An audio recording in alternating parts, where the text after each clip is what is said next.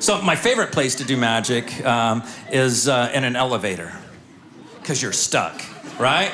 There's a weird psychology. You ever notice that in an elevator? People can be talking, talking, jabbering. As soon as you get in that elevator and those doors close, everybody stops talking, right? It's a perfect place to mess with people. I use a couple things.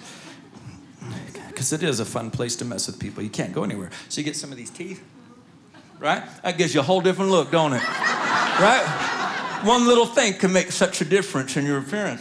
And what I'll do is I'll get in the elevator and I'll stand in front of the buttons. So, like, when people get in, they can't push the button for their floor because I'm standing, you know, you can't talk normal with these teeth in your mouth, all right? they get in the way, but if you talk in a southern drawl, it comes out real natural, don't it?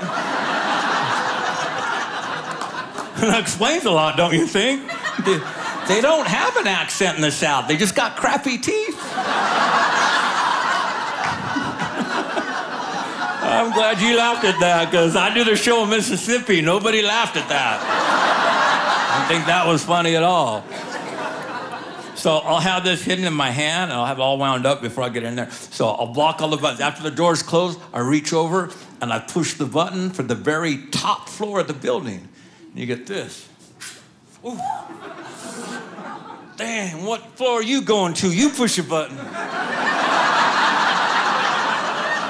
Nobody's gonna touch nothing. We're all gonna ride all the way to the top together. That's what we're gonna do. That's good fun. That is good fun right there.